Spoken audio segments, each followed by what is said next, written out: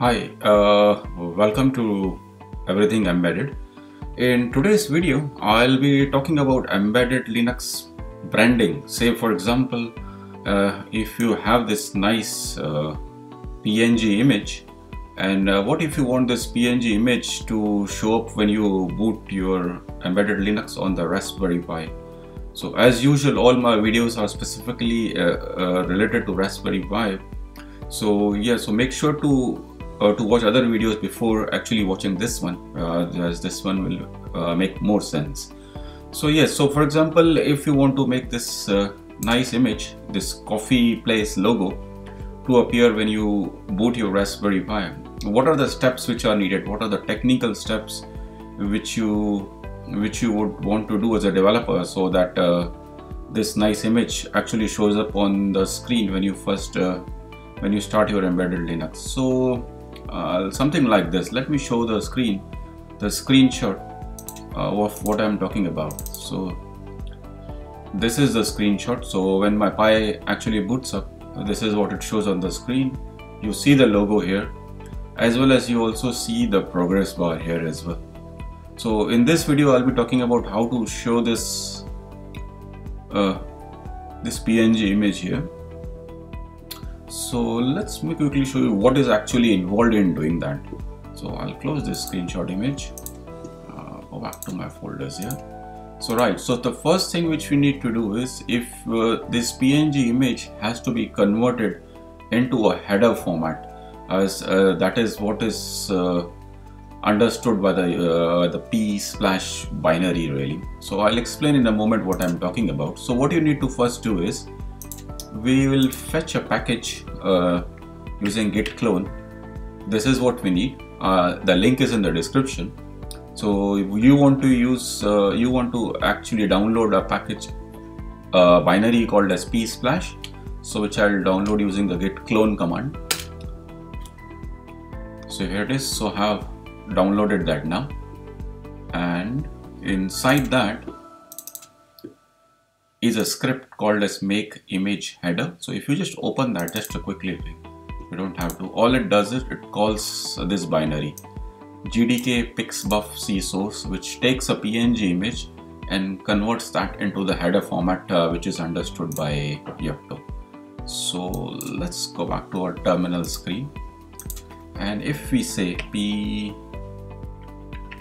slash make image header and the name of our png file in which in my case is coffee coffeelogo.png so so this is uh, the header format which it has given me. I'll just open this.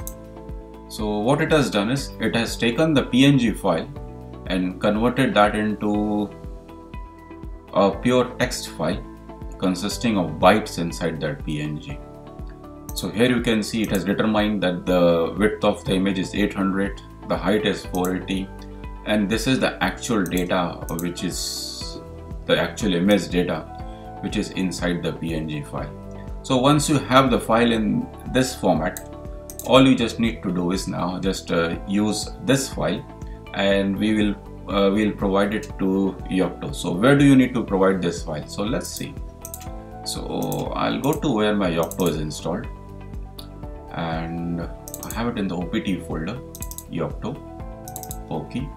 And there is a folder, there will be a folder called as Meta Raspberry Pi. If you go inside that folder, and if you go to recipes core, so here you see something called as psplash. So go to the psplash folder, go into the files folder.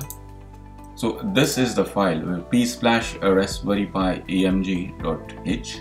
If you open that, so this is exactly where you want to replace the file which you have just generated into this folder.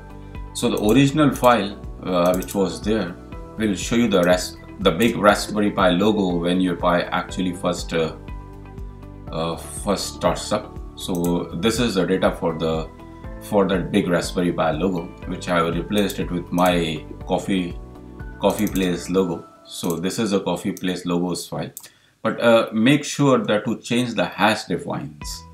So the hash defines starts with poky image underscore. So th uh, this is what you need.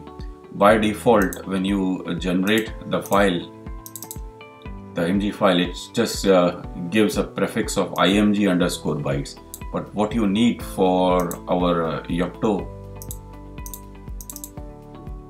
format is you it needs to be replaced with poky underscore img. I hope i am making it clear. Uh, we can be spending the entire day uh, talking about how to change the logo. It is actually that complicated but to keep things simpler all you just need to do is uh, just uh, generate the header data from the png file copy your file in this folder and you will be good to go. But uh, say what if you let's go back to the original screen again. So this will so this is way when you actually uh, do a bitbake you will get an image with this feature. But what if you want to change the color of the progress bar here? What if you want to change the style of the progress bar? Or want to show some additional text or something like that just uh, basically customize the customize the logo. Well that is more more and more complicated. So the now going back again to what we had the package, uh, the binary which we had downloaded, the source code for the binary in fact, p psplash. This is what actually shows you that logo. So just quickly, I will not spend more time on this, but just in case if you are actually interested to change the colors of your progress bar, so there is a header called as uh, colors.h. If you just go into that file, so it defines what are the colors to be used for the progress bar indicator what is the background color, what is the text color and what is the overall background color. This is where you can uh, change the change the color values. So basically the colors are actually hard coded into the C source code and if you want to change those colors you will have to uh, download the source code, change the color values, build that binary and make sure that it is copied on to the micro SD card uh, when you actually boot up your Pi and that will then show the new uh, the new logo or the new progress bar indicator. But if you just want to change the image as we were as I have done you don't need to make changes to the this source code at all.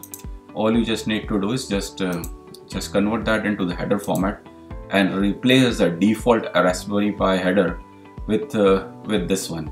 I hope it makes sense really. So what I'll do is now I'll show you how how actually it looks like when you first uh, uh, when you first boot the Pi, uh, how does the screen actually looks like. Hope you like this short video really. I have to keep it shorter and I'll see you in the next video. Thank you very much. Bye.